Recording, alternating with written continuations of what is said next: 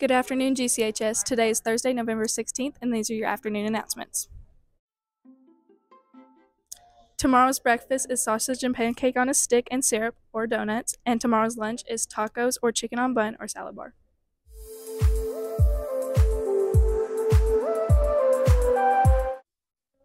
Friday's weather will be rainy with a high of 64 and a low of 48.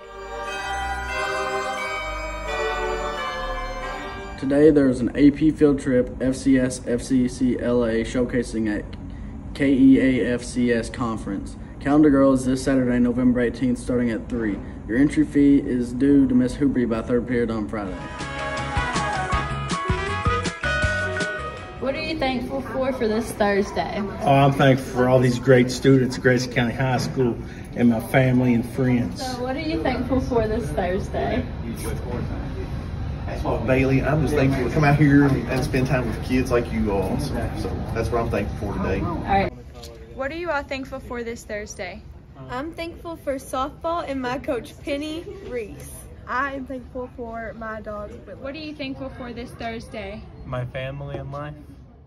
And these have been your afternoon announcements. Don't forget to like, comment, and subscribe, and have a great day.